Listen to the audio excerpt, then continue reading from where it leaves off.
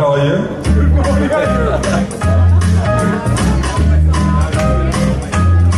In a cabin, down by the